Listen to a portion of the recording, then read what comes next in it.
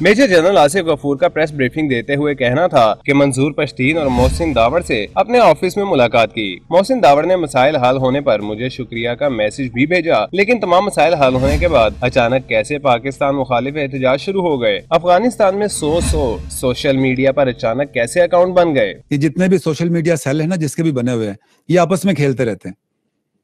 بہت سارے پاکستانی ہیں جنہوں نے ان کے اکاؤنٹس دیکھے بھی نہیں ہوں گے۔ ملینز آف ٹویٹس ہوتی ہیں لیکن آپ کے دیکھیں کہ اس کے اپنے فالوورز کتنے ہیں اور اس کو ریٹ ویٹ کتنا کر رہے ہیں۔ سوشل میڈیا پر پاکستان مخالف پروپیگنڈا کیا گیا لیکن سوشل میڈیا پر جھوٹے نعروں سے ہمیں کوئی فرق نہیں پڑتا اور نہ ہی پڑے گا۔ ہم پاکستان کی جنگ لڑ رہے ہیں ہر چیز کا جواب نہیں دے سکتے۔ پاکستان کی عوام اپنی فوج سے محبت کرتی ہے۔ پاکستان کی عوام فوج سے محبت کرتی ہے میں نے آپ کو پہلے بھی کہا۔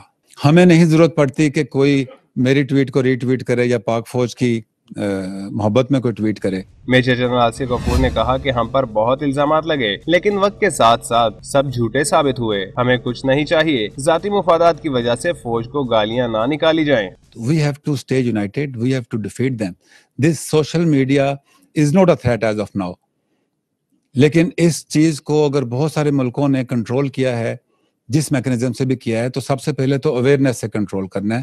تو آئی ریکویسٹ یو آل کہ اپنے لیول پہ اس کو ضرور کنٹرول کریں۔ ان کا کہنا تھا کہ ہماری طرف سے کسی بھی میڈیا ہاؤس کو کوئی ہدایت جاری نہیں ہوتی۔ میڈیا بہت اچھا کام کر رہا ہے، لیکن سوشل میڈیا پر ہمیں نظر ڈالنے کی ضرورت ہے۔ سوشل میڈیا پر پاک فوج کے خلاف پروپوگنڈا کیا جاتا ہے۔ ہمیں سوشل میڈیا کے استعمال میں ذمہ داری کا مظاہرہ کرنا ہوگا۔